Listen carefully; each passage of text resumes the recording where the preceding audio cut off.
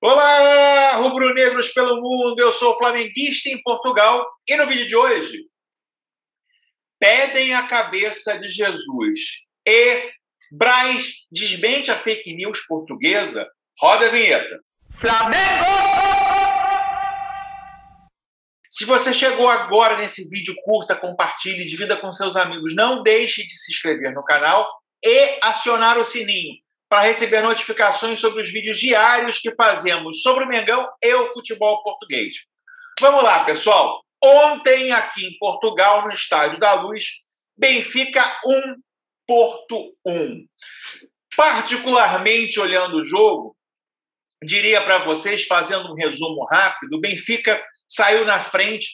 Que gol bonito do Cebolinha. O Cebolinha deu dois dribles de futebol de salão na intermediária, tocou para o Rafa, Rafa devolveu, ele mandou a bola para o gol. Até ali, aos 20 e poucos minutos, o jogo estava equilibrado. O que, que aconteceu? Depois disso, o Benfica, Jorge Jesus e o Benfica recuaram e o Porto praticamente é, dominou o jogo. No primeiro tempo não teve oportunidade de gol, tá certo que o Elton Leite não, não fez grandes defesas, mas no segundo tempo o Porto é, numa das únicas jogadas que foram na baliza do, do Benfica, empatou o jogo. O que, que acontece, pessoal? É, eu acho que o Benfica foi garfado aqui entre nós. É, dois pênaltis marcados e o VAR é, desmarcou os pênaltis. É, aos 49 do segundo tempo, o Benfica faz 2 a 1 e acharam impedimento. É, Pepe aquele, aquele mesmo carniceiro de sempre, né? Enfim, depois de ter um cartão amarelo, faz uma falta violenta no jogador do Benfica, não é expulso. O, o, o Benfica bate rápido, é, a falta, Cebolinha faz o segundo gol, também anularam. Então, assim, ficou num a um jogo, o que deixa aí o Benfica fora da fase da, de, de entrar direto na fase de grupos da Champions, né? Enfim, é, alfinetadas à parte nas entrevistas coletivas. O Sérgio Conceição, mesmo estando no banco, ele não deu entrevistas ontem, né? Mas o, o auxiliar dele deu entrevista, enfim, falando que o Porto ainda tem chance, e, enfim, falando que dominou 80% do jogo. O Jorge Jesus também deu uma alfinetada lá no Porto, né? Dizendo que essa temporada o Porto não ganhou absolutamente nada e o Benfica ainda pode ganhar a Taça de Portugal e a Supertaça de Portugal. Né? Se ele ganhar a Taça de Portugal e disputar com o Sporting, que é o provável campeão. Né? Mas o que acontece é que ontem, em, em um debate na, na CMTV, é, apesar do empate e apesar do Benfica estar mais perto da vitória do que o Porto, os comentaristas não perdoaram o Jorge Jesus. E, depois de algum tempo, voltaram a questionar de novo a presença de Jorge Jesus no Benfica na temporada que vem. Inclusive, um comentarista dizendo que o, que o Jorge Jesus deveria, por respeito ao Luiz Felipe Vieira e por respeito ao Benfica, entregar o cargo. Eu vou mostrar um trecho para. Vamos lá, pessoal. É bem verdade que aqui os comentadores, ou, ou, como dizem aqui os comentaristas, eles se dividem por clubes, né? Enfim, mas é... fica estranho aí, de novo, os, comenta... Os, comenta... os comentadores ou comentaristas, como falamos aí no Brasil, é... pedirem a... a cabeça do técnico. Né? Eu, particularmente, é... se você olhar o resultado de fato, o resultado do Benfica esse ano ele é um resultado bastante ruim em função da expectativa que foi levantada, mais de 100 milhões de euros de investimento, contratação do Jorge Jesus, né? Mas se você olhar a temporada como um todo, é, houve de fato o fato da doença, né, da pandemia que agravou, como como o Mister acaba dizendo muitas vezes, e acho que isso foi muito prejudicial, né? Enfim, mas aqui, de novo, volta a se especular aí que Jorge Jesus pode não continuar na temporada que vem. Eu absolutamente não acredito. Né? E, eu queria deixar claro aqui, eu estou falando de Jorge Jesus porque eu falo de futebol português também. Algumas pessoas ficam chateadas, ah, deixa o Rogério Senna sabe trabalhar. Eu sou super defensor do, tra do trabalho do Rogério Senna. Acho que ele deve continuar no Flamengo. Ele faz um belíssimo trabalho. Né? São três títulos conquistados, os três últimos títulos disputados foram conquistados. O Flamengo começa a bater vários recordes, ganhou, da, ganhou na Argentina, no time argentino na Libertadores, depois de 40 anos, ganhou pela primeira vez na altitude, ganhou os três primeiros jogos da Libertadores, é... Campeonato Carioca, enfim, já está praticamente classificado para a final, é... atravessa uma excelente fase. Então, eu sou totalmente contra a quem diz que deve tirar o Rogério Senna. Eu acho até que o Rogério Senna ele faz um, um, trabalho muito bom no Flamengo e ele deve continuar. Trago notícias do Jorge Jesus porque eu estou em Portugal e tenho que fazer isso e gosto de dividir porque eu acredito que o Jorge Jesus seja de fato um ídolo é, do torcedor rubro-negro, talvez o, o, técnico mais ídolo de todos os tempos do, do, do, do, do flamenguista de uma forma geral. E trago aqui as notícias, enfim. E acho que aqui também Jorge Jesus movimenta muito aqui a imprensa portuguesa. Outro assunto, pessoal, o Paparazzo Rubro Negro ontem trouxe um, um vídeo falando da, do Record. Da. O Record é o jornal, um dos maiores jornais de, de esportes aqui de Portugal. E o título da matéria dizia: Flamengo abre portas para Jorge Jesus.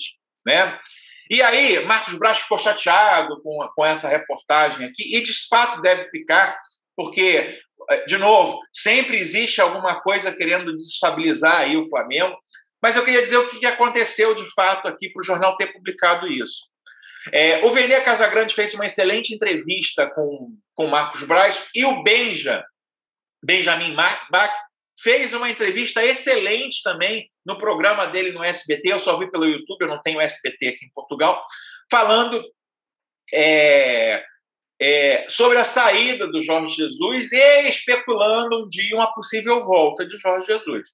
O que o Marcos Braz respondeu, e, e respondeu em todas as entrevistas, é que o Flamengo está muito bem com o Rogério Senna, toda a diretoria apoia o Rogério Senna, não existe menor possibilidade de troca, mas o Jorge Jesus fez uma belíssima campanha enquanto esteve no Flamengo e um dia não existe nenhuma mágoa é, ou algum, alguma diferença que Jorge Jesus não possa um dia, quando o Flamengo necessitar, que ele voltasse para o Flamengo. O que, que acontece, pessoal? Eu não estou defendendo o jornal português aqui de forma nenhuma. O que eu disse é o seguinte: aqui em Portugal não se tem o mesmo acesso às notícias do Brasil como nós temos no Brasil.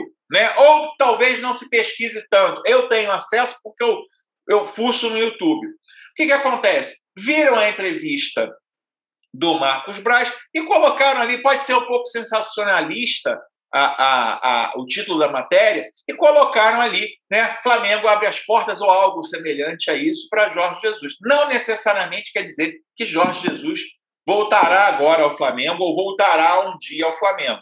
Né? Enfim, só para explicar, enfim, aqui, por exemplo, na televisão, na CMTV, por exemplo, não falaram absolutamente nada, pelo menos que eu tenha visto em relação a Flamengo e Jorge Jesus, Falaram só do Flamengo nesse trecho que eu te falei aí, que foi pago um, um, é, um milhão e meio de multa ao Flamengo, um milhão e meio de euros em multa ao Flamengo para tirar Jorge Jesus do Flamengo, mas nada mais em relação a isso.